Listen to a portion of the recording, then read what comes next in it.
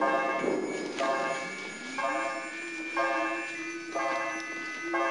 long has the doctor been gone? I don't know. I don't have an instrument for measuring time.